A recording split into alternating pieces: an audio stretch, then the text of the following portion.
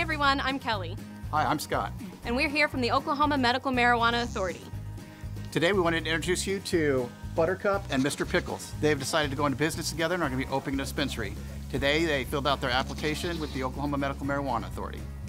Now, their official legal business name is Buttercup and Mr. Pickles LLC, but the sign outside their dispensary door reads Goat's Grass.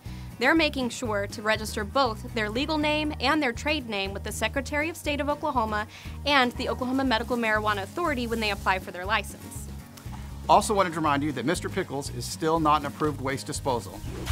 Please go to our website to find the list of approved waste disposal facilities. Now, let's be honest, these goats needed a lot of help when they applied for their license, but we have a call center for that.